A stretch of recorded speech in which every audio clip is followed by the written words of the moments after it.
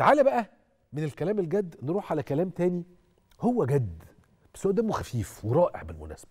أنا مش عارف حضراتكم شفتوه ولا لأ. أنا شفت الفيديو ده من ثلاث ولا أربع أيام على تيك توك. شاب مصري أنا أشوفه موهوب موهبة مذهلة جدا. هتيجي تقول لي موهبة في إيه؟ هقول لك موهبة في التقاف البطيخ. وأنا مش بهزر ومش بتريق. أنا بتكلم بجد. ده واحد عنده توافق عضلي عصبي بسم الله ما شاء الله. ده تخيل إنه لو كانت موهبته دي راحت مثلا إنه يبقى لاعب كرة مية ولا لاعب كرة يد ولا يعني مش ممكن. الولد ما شاء الله عليه عمال بيتلقف وخد بالك هو التكنيك إيه بقى؟ هو بيتلقف البطيخ من فوق ظهر العربية بإيده هو ما بيمسكوش هو بس بيخفف من الصدمة بتاعته عشان ينزل على إيده التانية وبعد كده عند رجله وبعد كده على كومة قش علشان يترص.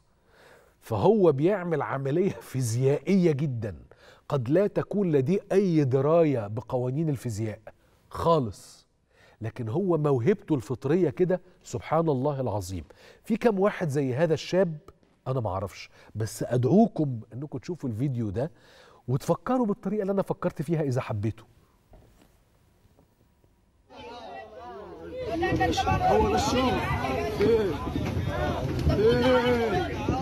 ليه فين ارمي ارمي يا عم ارمي يا ريس مالك في إيه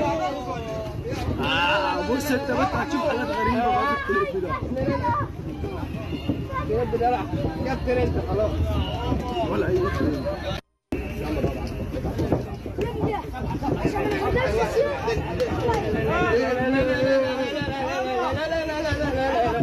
ابعد ابعد ابعد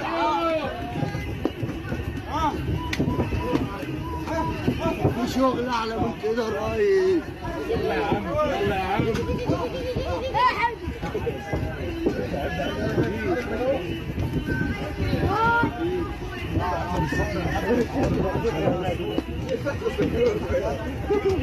ارمي بس يا ريس يا عم انت يا اتفرج عليك يا ريس.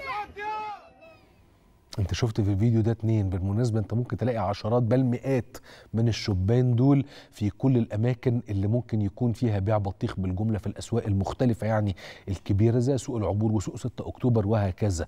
اللي أنا بكلمك فيه خدت بالك هو راجل بيتعامل مع قوانين الفيزياء دون أي دراية. دي قوانين متعلقة بالجاذبية وتوزيع الأحمال والثقل ومش عارف حاجة في منتهى المهارة.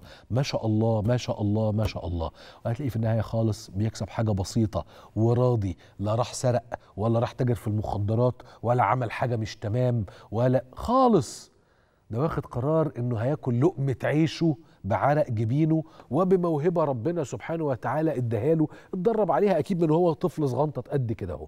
ربنا يبارك له في اللي بيكسبه وربنا يا رب يعني يكسبه أكتر من كده عشر مرات ودايما بالحلال